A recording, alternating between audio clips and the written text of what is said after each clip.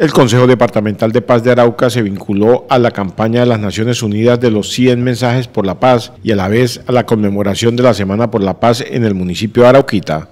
En calidad de presidente del Consejo Departamental de Paz, Reconciliación y Convivencia del Departamento de Arauca, frontera con Venezuela, me vinculo a la campaña de las Naciones Unidas de 100 mensajes por la paz. ¿Qué significa la paz para nosotros?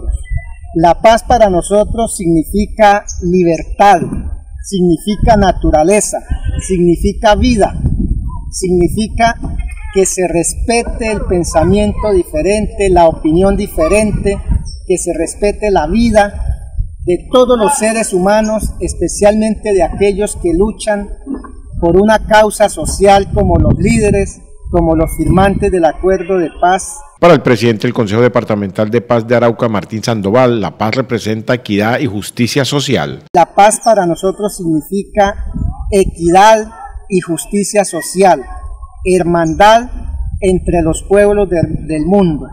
Por eso la paz también significa que se terminen los conflictos entre las naciones y desde esta hermosa frontera colombo-venezolana del Arauca Vibrador, pedimos porque cesen las agresiones a los países vecinos y que nos hermanemos con los hermanos de la República Bolivariana de Venezuela, que los gobiernos dejen a un lado sus diferencias y se conviva en paz, en reconciliación. En la Semana por la Paz, Martín Sandoval hizo un llamado a cada país a resolver sus asuntos internos. Y que cada país resuelva sus asuntos internos de manera democrática.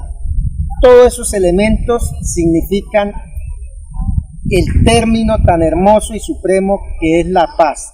Muchas gracias por darnos esta oportunidad de enviar este mensaje de paz, de reconciliación, de vida, de hermandad desde la frontera colombo-venezolana. Un abrazo para todos y todas. Los habitantes del departamento de Arauca seguirán en la lucha de conseguir la paz mediante el diálogo entre los grupos al margen de la ley y el gobierno nacional.